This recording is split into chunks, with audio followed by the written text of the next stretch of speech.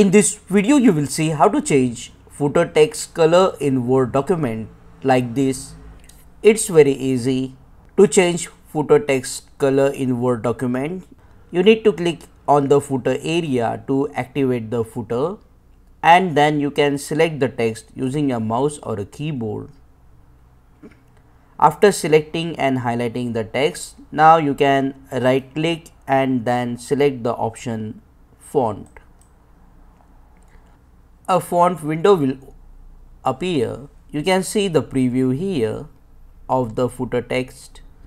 And under the color and underline option you can select any color of your choice. For example blue color. And you will see the footer text color has changed here. If you don't like the color present here you can just go to the more color option. And then you can customize your own color and then select that color. For example let's say yellow and then click on ok. However yellow is not a good choice. So after selecting the color you just have to click on ok to change the footer text color.